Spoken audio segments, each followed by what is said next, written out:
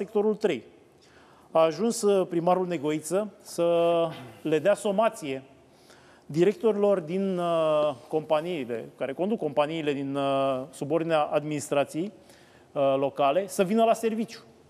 Să vină la serviciu să-și îndeplinească atribuțiile și să le spună, să le bată obrazul și cu cei 2500 de euro pe care îi încasează, fiindcă din cauza lor nu se întâmplă lucruri și dă și un exemplu important, nu se aduce un cablu care să facă în sfârșit bună de predat, dita mai parcarea de niște sute de locuri pe Bulevardul Decebal, uh, fiindcă nu vine domnul director la servici ca să semneze apelul lui uh, Robert Negoiță și veți vedea de unde sunt domnii directori, că sinecurile normal sunt politice. Bună ziua! În câteva minute începe ședința Consiliului Local. Pe ordinea de zi avem foarte multe proiecte, foarte multe proiecte și interesante, uh, dar unul, un proiect este foarte important și anume vrem să responsabilizăm președinții slash directorii companiilor din sectorul 3. Am întâlnit o situație fără precedent de câteva luni încoace, în care unii președinți slash directori care își primesc o grămadă de bani 2500 de euro uh, pe lună net, da? aproximativ 2500 de euro net, vorbesc bani în mână, fără să vină la muncă și nu doar că nu vin la muncă, nu asta e problema principală. Problema principală e că au blocat activitatea acelor societăți care nu pot funcționa de la sine. Ei au nevoie de persoane care să se implice, să găsească soluții pentru probleme să semneze ce au de semnat, să demareze proceduri. Bună oară, am fost ieri la parcare la Decebal și am constatat pentru a câta oară că pentru a achiziționa un cablu, fără de care nu se poate deschide parcarea, au fost nevoie de vreo 3-4 luni de zile. Și de ce? Pentru că n-avea cine să semneze, n-avea cine să organizeze, n-avea cine să demareze procedura de achiziție, astfel încât să avem cablul acela mai repede să deschidem parcarea, că iată se face un an de când e parcarea gata și n-am reușit să deschidem. De aceea este foarte important, foarte important, repet, ca să reglementăm chestiunea asta că au program de lucru, minim 8 ore pe zi.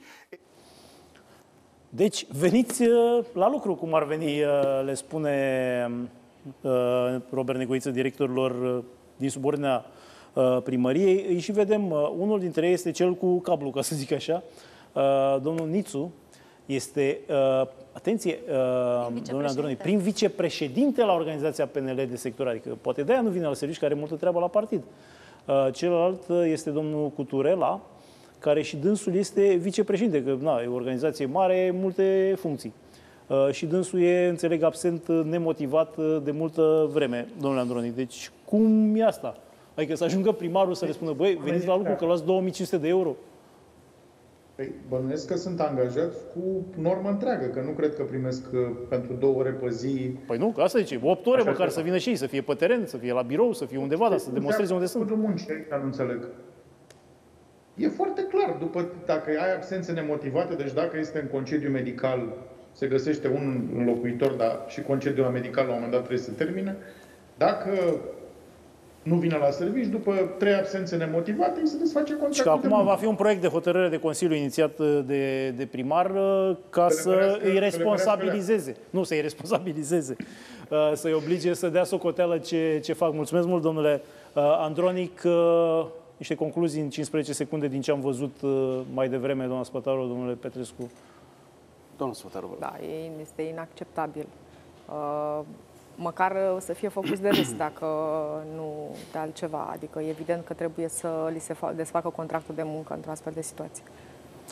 Doamne Petrescu. Bun, e clar că bulversarea cu alegerile interne din PNL n-a fost doar la nivel de domnul Câțu. Vă spun că la nivel de companii naționale, peste tot unde au fost numiți tot felul de politici PNL, A, n-au mai venit la serviciu, secretar executiv prin consulii, toți au fost peste tot în campania electorală. Deci nu mă mir că domnul primar Negoiță acum trebuie să ia măsuri extra atribuții, extra cod administrativ să poată să-i aducă înapoi la servici. Fiindcă, într-adevăr, haos a fost de la Cățu până la ultimul liberal, la firul ierbii.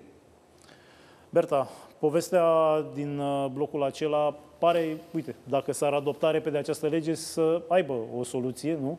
Să poată fi branșați de urgență, cum spunea doamna Firea, prin inițiativa asta legislativă. Dar câte ori mai fi așa? Sunt convinsă că mai sunt multe cazuri, chiar vorbeam astăzi cu un alt uh, consilier uh, local și spunea că sunt cazuri de genul acesta, inclusiv în sectorul 1, îmi pare rău că nu mai este domnul Ianu și n-am avut timp să-l întrebăm. Oameni care n-au curent, oameni care n-au apă și căldură și știm foarte bine, vine iarna, cu siguranță va fi îngrozitor pentru ei dacă va mai dura câteva săptămâni situația asta, nici nu trebuie să dureze prea mult. Ce săptămână urmează, doamnelor și domnilor, o să vedeți. Uh, noi ne revedem duminică de la ora 19, dar până atunci multe alte lucruri.